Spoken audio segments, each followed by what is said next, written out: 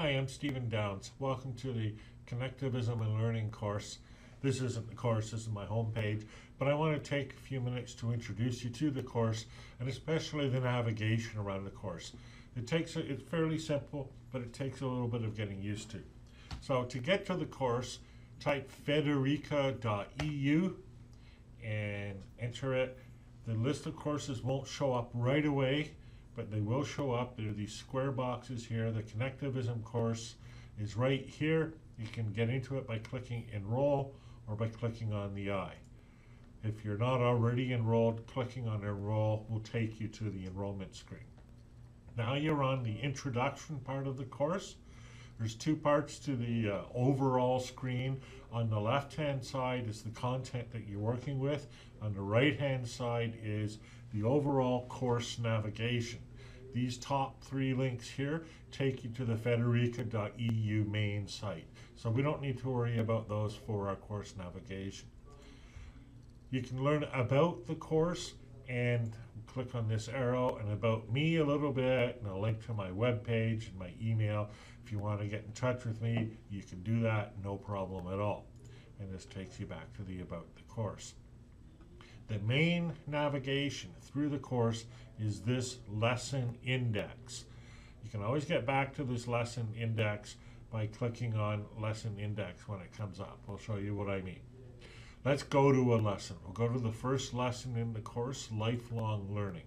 We click on that and now we've entered the lifelong learning unit. So there's the lesson is divided into three units. Remember I said lesson index? Here's the lesson index. This takes you back to that navigation.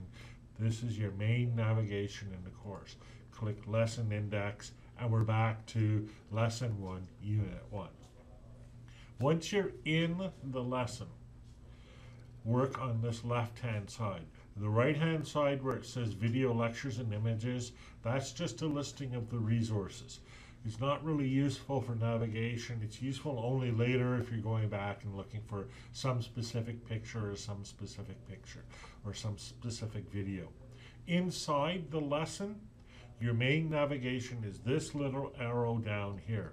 I know it's hard to see, but this is what you're going to use. So watch the video.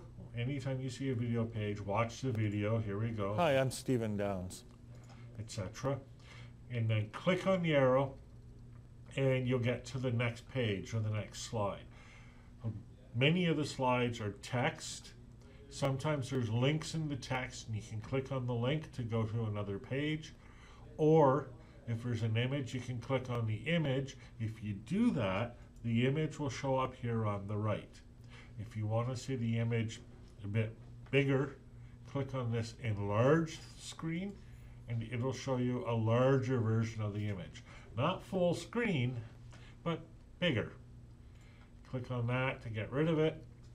And now if we ever want to go back to our list of lessons, click on that button that says home and there we are, there's our lesson index. But we're still working our way through the units. We'll click on the arrow again. Here's another image. Click on the arrow again. Here's some more text. Click on the arrow again. Here's some more text. Click on the arrow again. Now we finished unit one. We're into unit two, the second unit in lesson one. Watch the video again. Today we're going to look at some. And once you're done watching the video, click on the arrow again, and that's going to take you through the rest of the course. There's not a lot of text. It's fairly easy, easy and straightforward to read.